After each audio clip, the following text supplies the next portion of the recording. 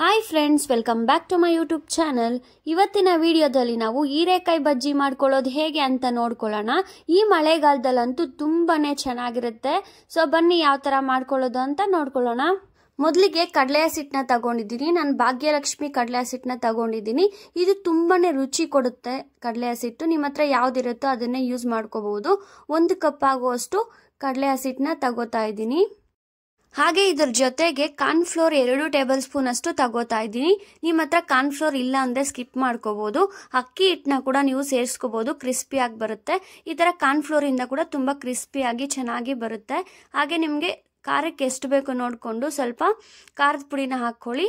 ಹಾಗೆ ಜೀರಿಗೆ ಸ್ವಲ್ಪ ಹಾಕ್ಕೋತಾ ಇದ್ದೀನಿ. ಟೇಸ್ಟ್ ತುಂಬಾನೇ ಚೆನ್ನಾಗಿರುತ್ತೆ ಅಂತ. ಹಾಗೆ ರುಚಿಗೆ ತಕ್ಕಷ್ಟು ಉಪ್ಪನ್ನ ಸೇರಿಸ್ಕೊತಾ ಇದ್ದೀನಿ. ಹಾಗೆ ಸ್ವಲ್ಪ ಸೋಡಾನ ಸೇರಿಸ್ಕೋತಾ ಇದ್ದೀನಿ. ಈಗ ಸೋಡಾನ ಹಾಕ್ಕೊಂಡು ನೀಟಾಗಿ ಎಲ್ಲಾನು ಮಿಕ್ಸ್ ಮಾಡ್ಕೊಳ್ಳೋಣ. ಫಸ್ಟ್ ನೀರು ಹಾಕೋಕ್ಕಿಂತ ಮುಂಚೆ ಈ ಥರ ಎಲ್ಲಾನು ಮಿಕ್ಸ್ ಮಾಡ್ಕೋಬೇಕು ನೀಟಾಗಿ. ಫ್ರೆಂಡ್ಸ್ ತುಂಬ ಈಸಿಯಾಗಿ ಮಾಡ್ಕೋಬೋದು. ಐದು ನಿಮಿಷದಲ್ಲೆಲ್ಲ ನಾವು ಹೀರೆಕಾಯಿ ಬಜ್ಜಿನ ಮಾಡ್ಕೋಬೋದು. ತುಂಬ ಈಸಿಯಾಗಿ ಟೇಸ್ಟಿಯಾಗಿರುತ್ತೆ ಈಗ ಇದಕ್ಕೆ ಸ್ವಲ್ಪ ಸ್ವಲ್ಪ ನೀರನ್ನ ಸೇರಿಸ್ಕೊಂಡು ಈ ಥರ ಕಲ್ಸ್ಕೋಬೇಕಾಗುತ್ತೆ. ನೀವು ಕೈಯಲ್ಲಿ ಕೂಡ ಕಲ್ಸ್ಕೋಬಹುದು ನೋಡಿ, ಈ ಥರ ಕಲ್ಸೋದ್ರಲ್ಲಿ ಕೂಡ ಕಲ್ಸ್ಕೋಬೋದು. ಸ್ವಲ್ಪ ಸ್ವಲ್ಪ ನೀರನ್ನ ಹಾಕ್ಕೊಂಡು ಕಲ್ಸ್ಕೊಳ್ಳಿ. ಫಸ್ಟೇನೆ ಜಾಸ್ತಿ ನೀರು ಹಾಕಕ್ಕೆ ಹೋದ್ರೆ ಸ್ವಲ್ಪ ನೀರು ನೀರು ಹಾಕ್ಬಿಟ್ಟು ಚೆನ್ನಾಗಿ ಬರಲ್ಲ.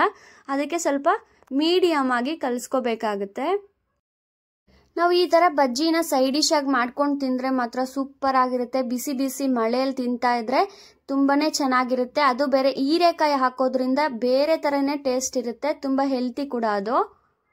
ನೋಡಿ, ಈ ಥಿಕ್ನೆಸ್ಗೆ ಕಲಿಸ್ಕೋಬೇಕಾಗುತ್ತೆ. ಜಾಸ್ತಿ ನೀರು ಆಗಬಾರ್ದು, ಜಾಸ್ತಿ ಗಟ್ಟಿಯಾಗಿ ಕೂಡ ಇರಬಾರ್ದು. ಸೊ ನೋಡ್ತಿದ್ದೀರಲ್ಲ ಮೀಡಿಯಮ್ ಆಗಿ ಈ ಥರ ಕಲಿಸ್ಕೋಬೇಕಾಗುತ್ತೆ. ಈಗ ಹಸಿಟ್ ರೆಡಿ ಆಗಿದೆ.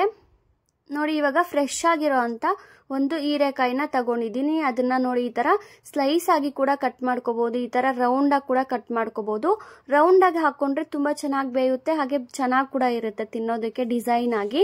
ಸೊ ನೋಡಿ, ಇವಾಗ ಹಸಿಟ್ಟಲ್ಲಿ ಡಿಪ್ ಮಾಡಿಬಿಟ್ಟು ಹಾಕ್ತಾ ಇದ್ದೀನಿ. ಈ ತರ ರೌಂಡ್ ಆಗಿ ಹಾಕಿದ್ರೆ ಬೇಗನೂ ಬೇಯುತ್ತೆ, ಹಾಗೆ ತುಂಬಾ ಚೆನ್ನಾಗಿರುತ್ತೆ. ಇದೇ ತರ ಬಾಂಡ್ಲಿಯಲ್ಲಿ ಎಷ್ಟು ಇಡಿಸುತ್ತೋ ಅಷ್ಟನ್ನ ಹಾಕ್ಕೊಳ್ಳೋಣ ಫ್ರೆಂಡ್ಸ್ ಇನ್ನೂ ನಮ್ಮ ಚಾನಲ್ನ ಯಾರೆಲ್ಲ ಸಬ್ಸ್ಕ್ರೈಬ್ ಮಾಡದೆ ನೋಡ್ತಾ ಇದ್ದೀರಾ ಪ್ಲೀಸ್ ಹೋಗಿ ಸಬ್ಸ್ಕ್ರೈಬ್ ಮಾಡ್ಕೊಳ್ಳಿ. ಹಾಗೆ ಪಕ್ಕದಲ್ಲಿರೋ ಬೆಲ್ಲೈಕನ್ನ ಪ್ರೆಸ್ ಮಾಡಿ. ನೋಡಿ, ಈ ಥರ ಹಾಕಿ ಎಲ್ಲಾನು ನೀಟಾಗಿ ಫ್ರೈ ಮಾಡ್ಕೋಬೇಕಾಗತ್ತೆ. ಒಂದು ಮೂರ್ನಾಲ್ಕು ನಿಮಿಷದವರೆಗೂ ಫ್ರೈ ಮಾಡಿಕೊಂಡ್ರೆ ಸಾಕು ಫ್ರೈ ಆಗಿಬಿಡುತ್ತೆ. ಹೀರೆಕಾಯಿನ ನಾವು ತೆಳ್ಳಗೆ ಕಟ್ ಮಾಡಿ ಇಟ್ಕೊಂಡಿರ್ತೀವಲ್ಲ, ಅದಕ್ಕೆ ಬೇಗನೆ ಬೇಯುತ್ತೆ. ಈಗ ನೋಡಿ, ಚೆನ್ನಾಗಿ ಫ್ರೈ ಆಗಿದೆ, ಕಲರ್ ಕೂಡ ಚೇಂಜ್ ಆಗಿದೆ, ಬಟ್ ಜಾಸ್ತಿ ಕಲರ್ ಕಾಣಿಸ್ತಿಲ್ಲ ನಾವು ಕಾರ್ನ್ಫ್ಲೋರ್ ಹಾಕಿರೋದ್ರಿಂದ. ಆದರೆ ತುಂಬ ಕ್ರಿಸ್ಪಿ ಆಗಿ ತುಂಬಾನೇ ಚೆನ್ನಾಗಿರುತ್ತೆ. ಸೊ ನೋಡಿ, ಇವಾಗ ಫ್ರೈ ಆಗಿದೆ. ನಾನು ಇವಾಗ ಇದನ್ನ ಒಂದು ಪ್ಲೇಟ್ಗೆ ತಗೋತೀನಿ. ಸೊ ನೋಡ್ತಿರ್ಬೋದು ಎಷ್ಟು ಚೆನ್ನಾಗಿದೆ ಅಂತ. ತುಂಬ ಕ್ರಿಸ್ಪಿ ಆಗಿರುತ್ತೆ ಹೊರಗಡೆ. ಹೀರೆಕಾಯಿ ಕೂಡ ತುಂಬ ಸಾಫ್ಟ್ ಆಗಿ ಬೆಂದಿರುತ್ತೆ.